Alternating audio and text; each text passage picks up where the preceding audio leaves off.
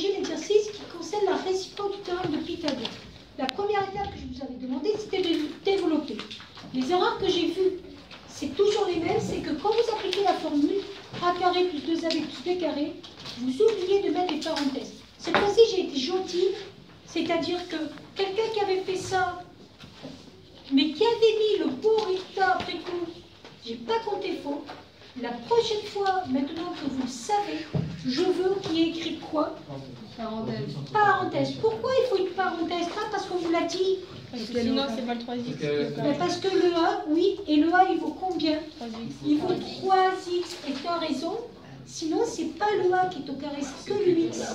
N'oubliez pas que la formule, c'est A carré plus 2AB plus P au carré. Donc, le premier développement, 3 au carré, ça fait 9. X au carré.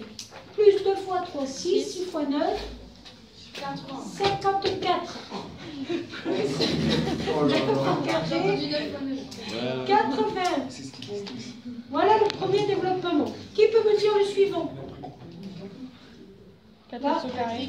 4x entre parenthèses au Plus 2 carré, fois 4x 2 fois fois 12. fois 12, Plus 12 au carré. plus 12 au carré. Ça fait 16x carré, 2 fois 8, combien ça faisait 96x. 55. Ok, ça va pour celui-ci Dernier, je termine et puis je vous laisse la parole. 5x au carré plus... Eh, vous avez vu, c'est toujours pareil. hein. Il faut que vous sachiez le faire, même pour la première, on vous le redemandera tout le temps, ça. 5 au carré, 25. Euh, 2 fois 5, 10, 150. 225. Ok. Est-ce que ça va pour ça? Ça va aller point chaque chose. Vous aviez des questions C'est bon? Ok. Un point chaque, ça va aller 3 points. J'avais changé de barème. Après, on vous demandez est-ce que le trait est rectangle? Donc, pour montrer qu'il est un rectangle, et voilà comment ça doit être rédigé, on doit utiliser la réciproque. J'ai pas enlevé des points quand vous m'aviez mis théorème de Pythagore, mais la prochaine fois, je veux voir le mot réciproque. Pythagore est un être humain, en tout cas il a été, même s'il est mort. Donc si c'est un être humain, on lui met un P majuscule. Alors attention, la réciproque, c'est pas pareil que le théorème de Pythagore. Elle dit quoi la réciproque? Oui, que si A, euh, A plus B carré. non, non, alors, A, si AB carré. non, alors quelqu'un d'autre. Merde. Oui, Euh, hypoténuse au carré euh, égale les côtés opposés au carré. alors la phrase, pardon, c'était la bonne. C'est si l'hypoténuse est carré est égale à la somme des carrés des deux autres côtés, le triangle est rectangle. Alors ma phrase, des fois, vous ne savez pas trop la redire, c'est pas très grave.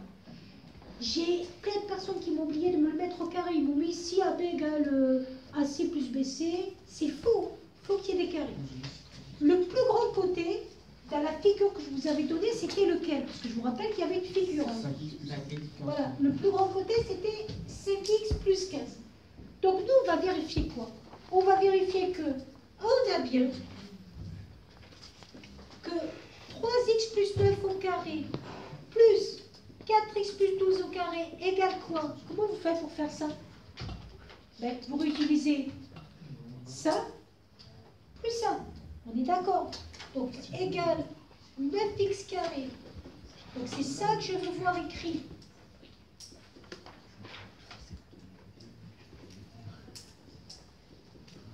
Et ça, ça fait bien 25x carré plus 150x plus 225. Qu'est-ce qu'on vient de prouver On vient de dire exactement ce que tu as dit, c'est-à-dire on a bien que la somme des carrés des deux premiers côtés est égale au carré du troisième côté. Le triangle est bien rectangle. Oui, Et Madame, si on calcule juste par exemple le 81 plus 144. Ah, ça suffit pas parce que tu n'as pas les x. Donc surtout, vous pensez bien à ajouter les carrés, les x et les nombres seuls.